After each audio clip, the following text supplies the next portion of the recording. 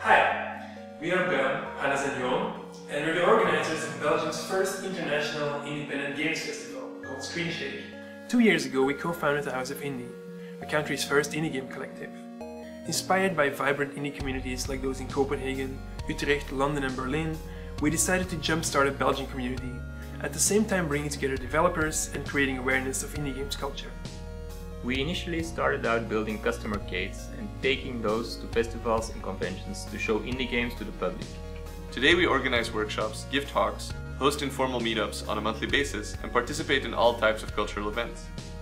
Recently we found an amazing new partner in Het Bos, an alternative cultural temple filled with artists, builders, and dreamers in the middle of Antwerp. We've slowly grown the formula of our festival over the past two editions from a couple hundred to almost a thousand visitors, and from a handful of speakers to nine international indie figureheads like Vlambeer's Rami Ismail, Auriea Harvey from Tale of Tales, and games journalist Leigh Alexander. Um, all we did was care and sigh and experience feelings. And I miss caring like that. You know, I, I feel like people could care about games like that if we just looked at them a little bit differently. We've shown installation games like Edgar Rice Soiree, Tenya Teens, at a distance, the shoebox diorama and panoramical. We've built custom indie arcades and interactive installations, like a giant pixel wall. And we were the first in the world to actually realize one of Keita Takahashi's amazing playground designs. Preparations for the next edition of the festival are coming along nicely. We have great partnerships with both Sony and Nintendo, a wonderful location with its own concert hall, two galleries, a bar, dining area and theater venue. We also have a whole bunch of amazing artists and speakers from all over the world who have told us they'd love to come and make music and talk to you. This is where you come in.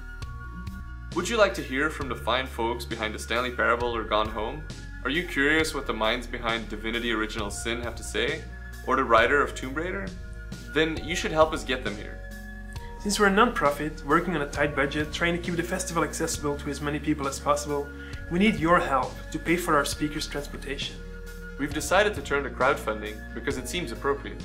If you want to see a big indie games festival with amazing guests take place right here in Antwerp, you literally get to make that happen. More than that, by supporting us, you're literally buying your personal ticket for the festival you're helping to take place.